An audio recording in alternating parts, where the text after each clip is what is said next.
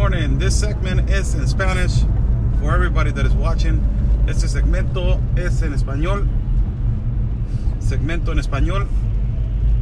Uh, good morning to everybody. Good morning. God bless you.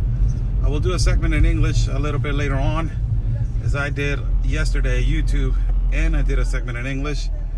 I will do a segment in Spanish. Este segmento es en español, señores. Compartan, compartan para que tengamos más visualizaciones. This segment is in Spanish for everybody that is watching. Segment in Spanish. Muy buenos días, buenos días a todos. Espera, esperamos que compartan un poquito. Eh, se andan quejando de que no hago segmentos en español y no lo comparten. Pues entonces así como. Eh, pero aquí estamos, señores, firmes como al pie del cañón. Buenos días a todos. Espero estén bien. Ahorita en unos momentos empezamos, que veo un poquito más de gente.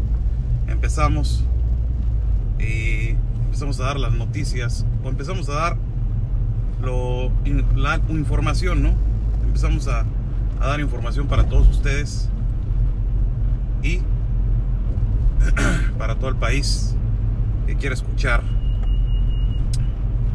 Saludos, saludos, vamos a empezar. ¿Qué tal? Muy buenos días. Soy Oscar Blue para el programa de Border Network News y America's Voice. Este segmento es en español. How's everybody doing? I'm Oscar Blue for Border Network News and America's Voice. This segment is in Spanish. Uh, ¿Cómo están? Muy buenos días. ¿Cómo les va? Jueves, jueves, jueves. Eh, definitivamente, sí, señora, pues no se separa aquí la calafia. Estas calafias aquí. Ustedes saben cómo es el transporte en Tijuana. Y la gente que es de Tijuana, ustedes saben cómo es el transporte. Los taxistas, los calafieros, los, los que manejan la burra, como le decimos nosotros, se paran donde se les pide su regalada gana, ¿no? Y hacen sus paradas donde quieran. Y si es en medio de la carretera y alguien les está parando, les está pidiendo el pasaje, se paran, les vale. Les vale, siempre les valido. Y no solamente en Tijuana, en todo México es lo mismo, ¿no? Ay, ay, ay, ¿cuándo la autoridad va a poner orden en este tipo de cosas? Por eso la cultura está tan jodida en México. Desgraciadamente estamos así. Muy buenos días, saludos a todos, saludos a todos, ¿cómo están? Me voy a la nota de Manuel López Obrador al último. Y lo primero, lo primero para todos, muy buenos días, Tijuana, hay que darle gracias a Dios porque tenemos dos brazos, dos piernas, mente con qué pensar y corazón con qué sentir, señores. Muy buenos días a todos. Somos poquitos en español. En inglés somos muchos más, pero no, este, no dejaré de estar haciendo videos en español en la mañana mientras voy al trabajo. No voy a dejar de, hacer videos, señores, en español. Señores, muy buenos días. ¿Cómo están? ¿Cómo están? Bendecidos sean. Hay un problema y desde ayer, antier y anteantier lo estoy diciendo y todo periodista en Tijuana, Baja California lo está diciendo. Tenemos un problema de inseguridad enorme en el país. Y hay un problema enorme de inseguridad en Tijuana, Baja California. En específico con las mujeres, señores. Otra dama más encontrada ayer asesinada en la colonia Ruiz Cortines. Y varios casos señores, de denuncia, muchísimos casos de denuncia de intento de secuestro hacia mujeres. Muchos casos, muchos casos en el transcurso del día de intento de secuestro hacia mujeres en la ciudad de Tijuana, Baja California. Este es un problema grave, ya nos estamos dando cuenta ahorita en este momento que es una cédula la que está trabajando aquí en Tijuana, Baja California. Es un grupo de personas.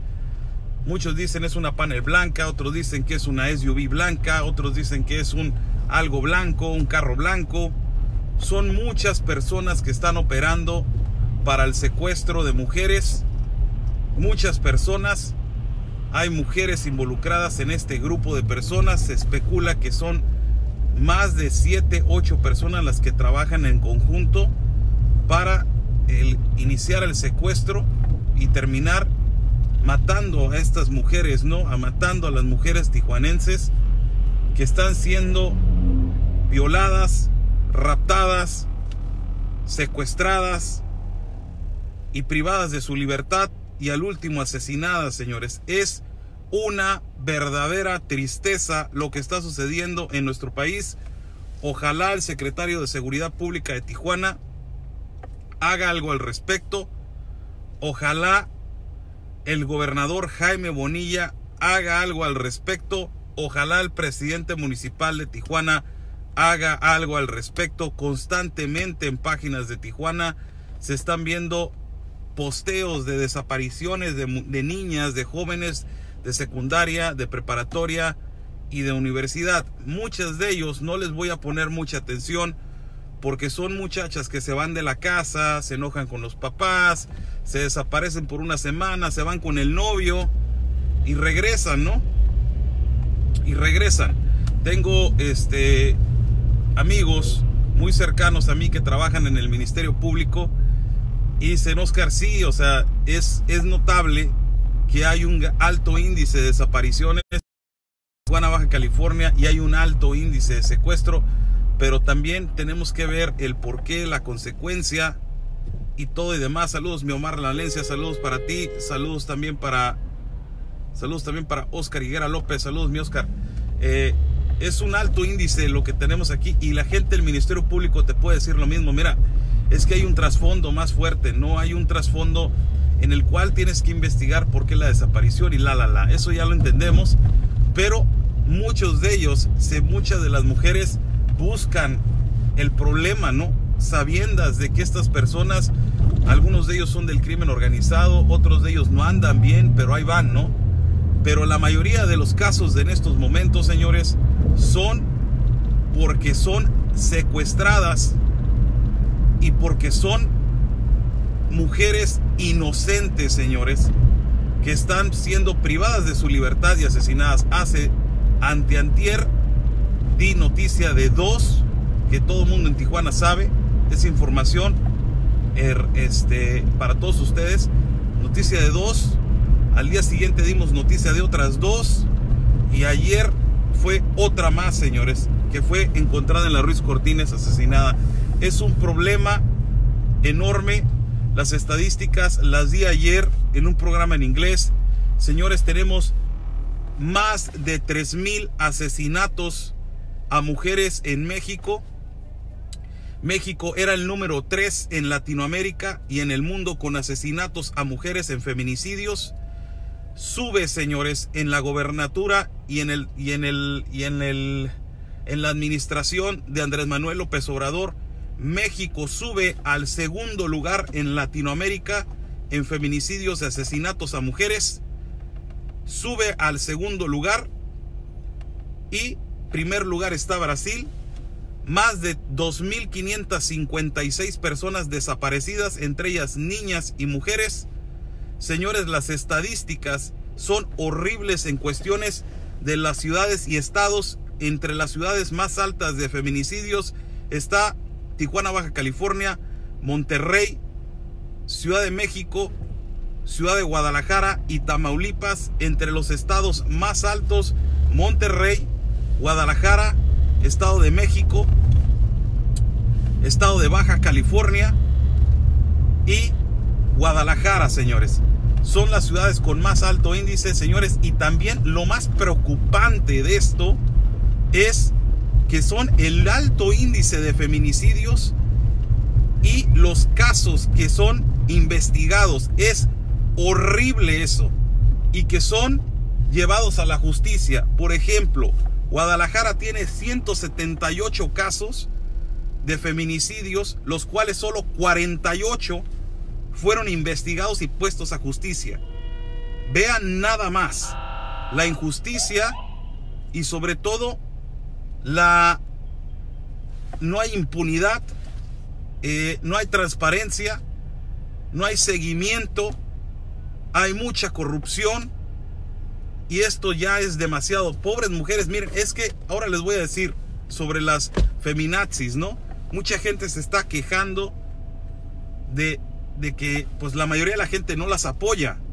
No las apoya. Yo no apoyo a las feminazis pero señores, quieren dejar de darles credibilidad a este movimiento. Hay que hacer algo por la seguridad en el país en referencia a los asesinatos de mujeres. Hay que hacer algo porque con esto que está sucediendo le das más credibilidad a movimientos de mujeres con, como ese, ¿no? Feministas que fuertemente se están moviendo en diferentes partes del país y protestando fuertemente, no solamente por asesinato, sino por abuso, por acoso. Y todo esto es una realidad. Es una realidad, pero les das más credibilidad con esto para que causen sus destrozos. No es justificable, pero causan destrozos, causan disturbios. Y al momento de hacer eso es ponme atención, no está pasando esto. Por favor, ponme atención. Y señores, es una realidad, tenemos un problema. Es triste ver ya cómo la ciudad se ha convertido en que ya los niños no pueden ir solos a la escuela. Eso ya ha estado sucediendo por mucho tiempo. Pero también es triste cómo ya la mujer ya no puede salir con el miedo de salir a trabajar. La mujer con el miedo de llegar a su casa, con el miedo de agarrar un Uber, un Didi. Ya no sabe quién se está topando. Es increíble, señores. Somos el número 2 ya. Subimos al número 2 en Latinoamérica en cuestión de asesinatos a mujeres primer lugar está Brasil, que es un lugar que terriblemente, o sea, también es inseguro. Bellísimo Brasil, pero insegurísimo, señores, Brasil. Brasil está en número uno, de, número dos de violencia y delincuencia y asesinatos en general. En primer lugar está Venezuela en violencia y delincuencia asesinatos y en tercer lugar está México. Y ahora ya eh, sube México al segundo lugar en feminicidios. Es horrible lo que está sucediendo en el país y es horrible lo que nos está pasando en Tijuana, Baja California. Precauciones, muchachas, las de la universidad, que van en la tarde a clases, que toman optativas afuera de horas de fuera de fuera de horas de, pues ya ya cuando está oscureciendo y todo este rollo tomen sus precauciones mucho cuidado eh, cuando anden en un lugar público fíjense dónde están quién las está viendo se sienten incómodas inmediatamente eh, hablen, eh, si sienten que ya se están, las están acosando, griten, hagan algo, defiéndanse de alguna manera porque nuestras autoridades mexicanas no están haciendo nada al respecto, sigue sucediendo, tiene que haber más operativos y pues la, la verdad, o sea, también hay muchas cosas más trasfondo, ¿no? Eh, voy a hablar con un, con un agente ministerial para ver si lo podemos tener una línea telefónica y podemos platicar acerca de pues básicamente cómo se, cómo se da el procedimiento y qué es lo que está sucediendo, ¿no? Porque ayer con lo que platicé un poco, hay un enorme, una enorme denuncia, señores, una enorme denuncia de, eh, de intentos de secuestro, hay una enorme denuncia de desapariciones en Tijuana, Baja California, y hay enormes denuncias de todo tipo, ¿no? En abuso a mujer y demás. No solamente es, es este, el secuestro, sino también que las golpean, que este el otro. Hay más cosas, o sea, es como la gente no va a decir, pues, yo conozco una tía que le pegan y ahí está, pues es que hay muchas cosas, ¿no? Que, que, que van sobre todo el tema, pero señores, es, un, es, es algo que es una realidad. Hay que poner atención a eso y hay que estar leyendo, hay que estarnos informando un poco sobre la eh, sobre las desapariciones de mujeres y lo que está sucediendo en Tijuana, Baja California. Saludos a todos, muy buenos días. Nos subimos al tema, al tema principal. Señores, Rafael Loret de Mola, un hombre que ha sido acosado por decir la verdad en cuestiones del presidente Andrés Manuel López Obrador. Disculpen los lentes, es que está pegándome el sol fuertemente en la, en la, en toda la carota, todo el nopal y pues lamentablemente pues no, no, no, no me gusta ponerme lentes cuando los estoy viendo. Miren, aquí estoy. Si quieren me quito los lentes, pero me calan mucho cuando voy manejando. Rafael Loret de Mola, si se meten a su página de Rafael Loret de Mola, fue enorme lo que dijo ayer Juantier. Y es declaraciones muy fuertes, ¿no? Muy fuertes. Por ahí anda rondando un video en YouTube eh, de una persona que da las noticias con la voz doblada cara tapada y este y cachucha y anteojos, ¿no? Eh, lo voy a compartir. Señores, Rafael Loret de Mola, tanto que lo han insistiendo porque él estaba hablando de que Andrés Manuel López Obrador está coluido y trabajando con el crimen organizado. Buenos días a todos los que me están diciendo buenos días, Dios los bendiga. Que está trabajando con el crimen organizado. Señores, que ha estado desde un principio, ¿no? Y es, o sea, no es algo que nos sorprende, no es algo que no sepamos, por eso yo les he dicho muchas veces, Desde que yo tengo uso de razón, nunca me he sentido orgulloso de un solo presidente. Todos han sido corruptos y todos han manejado mal al país. Todos, todos. Así seas priista, seas panista, seas perredista, seas populista, seas morenista, seas lo que sea. Todos los funcionarios públicos que yo he conocido que están a cargo del país, de como presidente, ni uno ha sido transparente y ni uno ha ayudado plenamente al país a salir de ser de un tercer país, de un tercer mundista. No ha ayudado que mejore la cultura, que no, en general, no nos vamos a meter en ese tema. Pero siempre ha habido arreglos con el crimen organizado, es un negocio multibillonario. México es el trampolín hacia los Estados Unidos, tiene que haber un arreglo también con agentes de la DEA y demás, ¿no? Es un, es un trasfondo muy grande. Pero Andrés Manuel López Obrador se la ha pintado de santo y ayer hice un video en YouTube en inglés en el cual recuerdo yo, ¿no? Ustedes recuerdan cuando Andrés Manuel López Obrador decía que iba a haber amnistía para los, para los criminales, ¿no? Hay una razón por qué, y es una razón muy fuerte, señores. La amnistía la quería poner por el derecho de no abrazos, no balazos, la paz, la paz, la paz. ¿Qué fue lo que pasó con el hijo de, Chapo Guzmán, Ovidio Guzmán? Inmediatamente así lo dejó salir y se respalda con ciertas cosas que él dijo en su campaña que iba a hacer, ¿no? Y esto sobresale a lo que ahora dice Rafael Loret de Mola, que lo vieron en Durango, en Tamazula, Durango, rodeado de gente del crimen organizado recibiendo un sobre y estirando la mano, ¿no?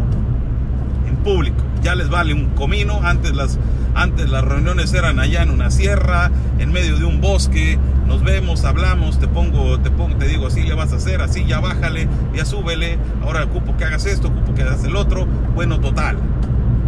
Ahora no, es en medio de todo el mundo, de una, de una, de una reunión, en medio de una, de, un, este, de una conferencia, ahí lo hago, me vale un comino, le saludo, entrego y recibo el de, agarro el sobre y ya. Y es un estudio muy profundo que hace Rafael Loret de Mola acerca de esa reunión en el cual se dio en Tamazula, Durango, una ciudad que los son enormes, son, es lo más grande que hay en Tamazula, Durango, por la sierra. Y señores, pues es un problema, ¿no? Ahí en Tamazula, la inseguridad.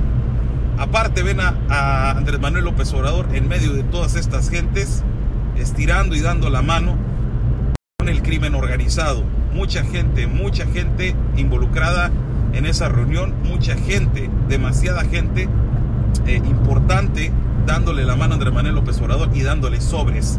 Sobres especula que es dinero.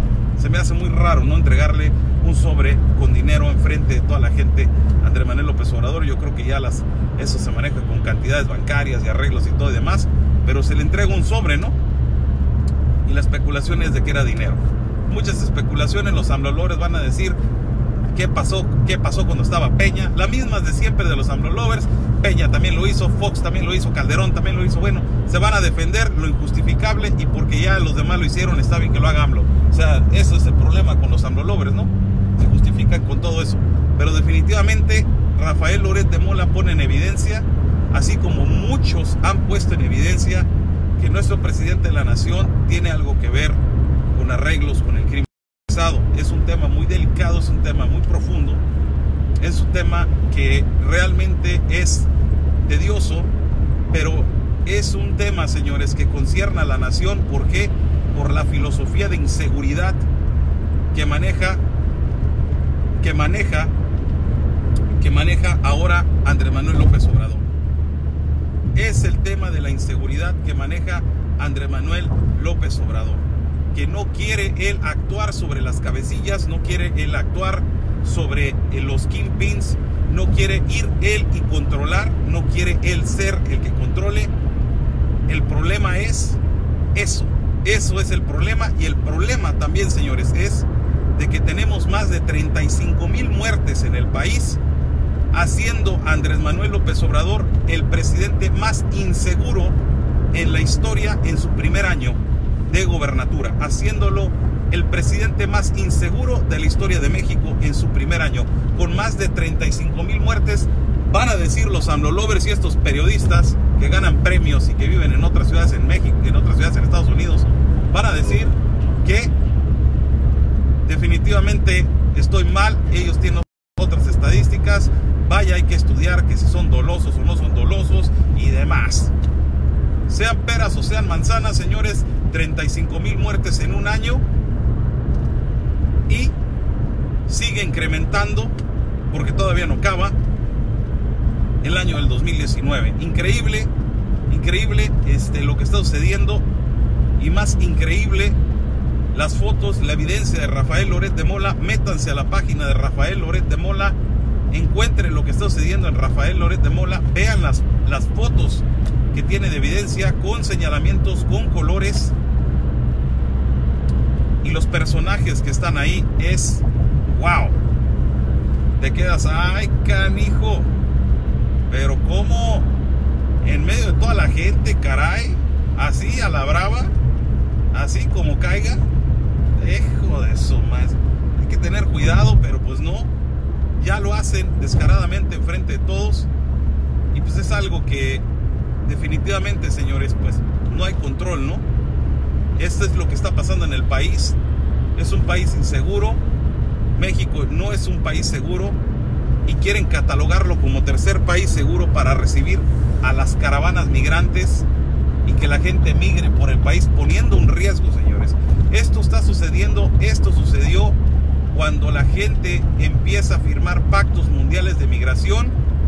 estuvo, estuvieron sucediendo desapariciones y asesinatos a mujeres, señores. En cada país que se, firman pactos globales de las Naciones Unidas, como lo que sucedió en España, como lo que sucedió en Francia, en París, lo que estuvo sucediendo constantemente en París. Fíjense nada más los números de París en cuestiones de asesinatos a mujeres en cuanto se firmaron los pactos globales. Vean nada más el incremento en Brasil, en Chile, en Argentina, en Venezuela, en Nicaragua, en el, en el Triángulo de Centroamérica. Vean cómo ha incrementado la delincuencia y la violencia y sobre todo las desapariciones de mujeres. Lo mismo va a suceder aquí. Lo mismo. Está sucediendo, está pasando y es un incremento a la delincuencia enorme, señores. Muy buenos días, saludos, saludos a todos, bendito jueves para todos ustedes. Dios me los bendiga. Fueron un par de que les estoy eh, tratando de para darles para que ustedes sean meticulosos y chismosos y vayan y empiecen a fijarse en las redes sociales o se metan por ahí a portales de información, el Heraldo, el Mexicano, eh, eh, Rafael Loret de Mola, Carlos Loret de Mola, y, investiguen ustedes por su propia cuenta y hagan su propio research, como dicen los, los, americanos, y, este, hagan sus propias investigaciones. Y eh, pues traten ustedes de encontrar, decir, ¿sabes qué? Tenía razón el Bloom, mira, vámonos a meternos por aquí y vamos a ver si es cierto que por aquí es el rollo, ¿no? Si es por aquí el rollo. Entonces ya entenderán que es un problema agravante, señor, lo que está pasando en nuestra bellísima ciudad de Tijuana, California y alrededor del país con las desapariciones de mujeres y los asesinatos de mujeres. Muy buenos días, señores. Dios me los bendiga, que estén bien. Haremos un segmento más adelante en español. Estamos haciendo segmentos en español diario, informativos en el carro mientras voy a donde tenga que ir. Y saludos a todos, un abrazo enorme para todos ustedes. Espero y estén bien. Espero y sigan, este, sigan la página, compártanla para que nos las puedan seguir.